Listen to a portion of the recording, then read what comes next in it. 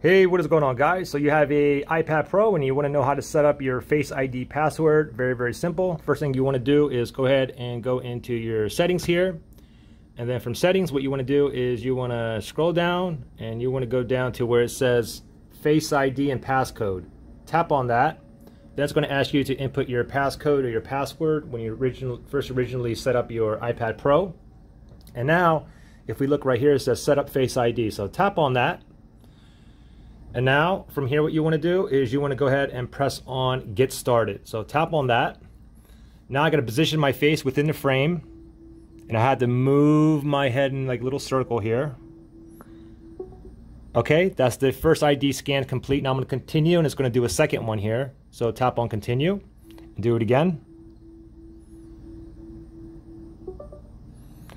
Face ID scan is complete currently done. Now it's pretty simple. Now I'll go ahead and click on done here.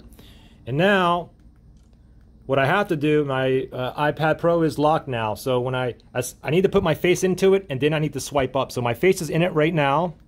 And now I'm going to swipe up and it registers my face. Now, so as soon as you swipe up, you need to have your face in it, okay? If you don't have your face in it when you swipe up, like for instance, my face is not uh, in the uh, iPad right now. If I swipe up, it's going to ask me for the Face ID here and then it didn't register my face and it'll ask me for my passcode here okay? So again let me go ahead and put it directly towards my face right now and then I'm to swipe up.